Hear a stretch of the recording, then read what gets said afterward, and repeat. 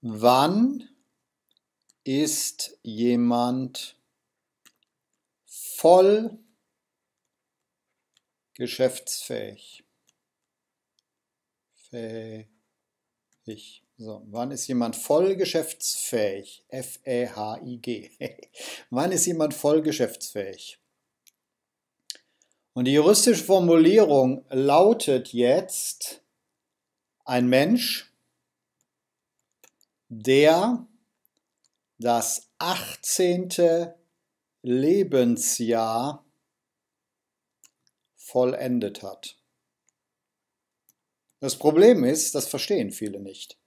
Wenn man also fragt, wie alt ist denn jemand, der das 18. Lebensjahr vollendet hat, dann kriegt man die verrücktesten Antworten. Deswegen möchte ich das mal erklären.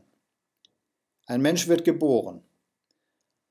In den ersten Tagen und Wochen seines Lebens wird dieser Mensch vor allem schlafen und schreien und schlafen und schreien. Also der Mensch schläft und schreit und schläft, also das Baby schläft und schreit und schläft und schreit und schläft und schreit. So, macht das Baby das ein Jahr lang. Es hat sein erstes Lebensjahr vollendet. Wie alt ist das Baby? Ein Jahr alt. So, jetzt rechnen Sie das fort. Es geht also weiter in dem Leben. Irgendwann kommt der Tag, da hat dieser Mensch, der inzwischen größer geworden ist, das 18. Lebensjahr vollendet, ist also 18 Jahre alt geworden. Wann ist jemand voll geschäftsfähig? Wenn er 18 Jahre oder älter ist. Oder größer gleich 18.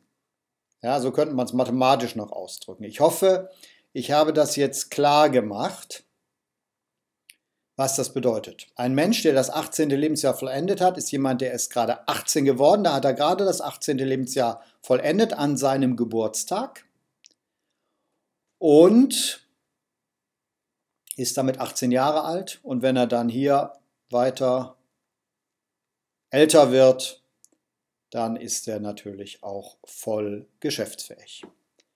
Wollen Sie lernen ohne zu leiden? Klicken Sie auf den Link unter diesem Video. Mein Name ist Marius Ebert. Vielen Dank.